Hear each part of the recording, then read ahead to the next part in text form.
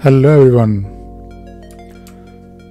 So today I wanted to take wanted to take a look at this question from uh, Lakshmi, and this question is interesting because uh, I have actually covered this in the past, and this question is actually about uh, finding the usage of your uh, Atlassian tools like Jira and Confluence. Now, this is part of uh, the audit that we have to do. When I say we, I'm talking about uh, Jira admins, Jira administrators. Now, we Jira administrators have to ensure that uh, Jira instance is, is running fine. And uh, one thing that we have to do on a regular basis is to basically look at Jira instance or Confluence instance and uh, try to find out things that are uh, probably uh, not relevant relevant anymore. I'm, I'm talking about uh, the usage of uh, schemes, usage of uh, various uh, projects, and that involves also getting rid of uh, or basically identifying users who have never really logged in or who have ne- never really logged in, in in the last six months or one year. Now, this information, so the question is all about is there any report, any usage reports that we could look at that might give us some insight into uh, when, like, how often people log in, what projects they use, ticket count per user. Uh, so this is th- this is something that you can't really do out of the box. I mean, of course, you have the information in Jira, but there are no ready-made reports that will tell you this information. But fortunately, if you're on server and if you are administrator of your Jira instance or Confluence instance, you can do that. And uh, this is actually possible by doing few things like uh, looking directly into the database and then running some queries to fetch this information. Uh, you can do that uh, by running queries directly on your database. I mean, be careful. I trust you. I mean, if you know how, what you're doing, or you can use a script runner. That is also one possibility. And uh, I prefer using a script runner because you know you don't have to log to log into the server.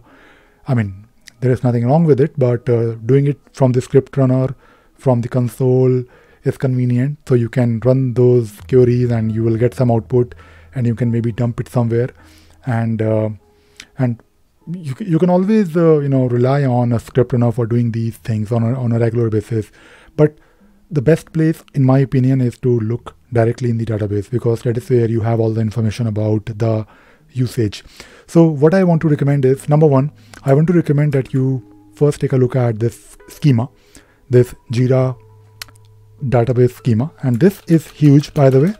And if you look at this particular uh, uh, database schema, you will find uh, plenty of information here about how these tables are uh, linked to each other. You will find a table where you can uh, know about uh, the users, you can know about maybe the issues, and if you want to basically, I mean, I mean, one recommendation is if you are working on the PDF, just zoom in little bit and then press Control F, and you will be able to see various tables. I mean, it will take you to the right, uh, you know, uh, box or this table in the schema, and you can then zoom out. So this is a place where you should look for uh, the in, the information. And talking about some queries, so a couple of things. Uh, Atlassian has published some queries. For example, if you want to do some reporting based on the user login, there is a link uh, where you can find these queries, ready-made queries that you can run uh, based on uh, your users. Uh, so this this particular page is really useful. I have also made few few videos. I mean, in fact, more than few videos where I have shared uh, queries, and I'll probably show you. I'll, I'll I'll try to search by the way.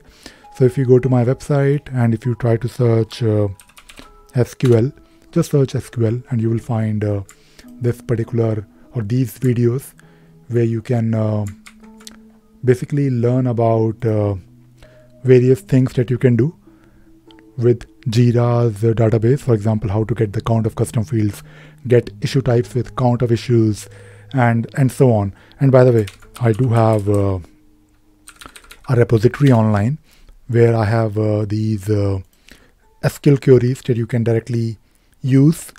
Um, and I mean, I, I don't really have a lot because you know uh, I didn't, never really got a chance to.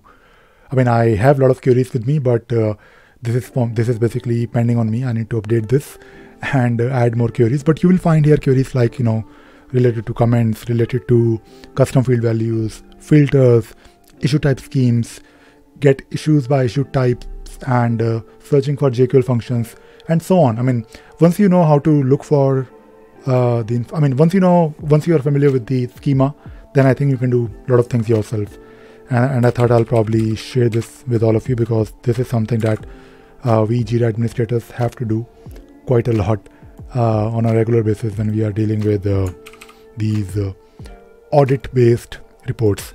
And I thought I'll probably share this with all of you today. And that is it. I hope you enjoyed watching this video and you learned something new today. Thank you very much. Bye bye.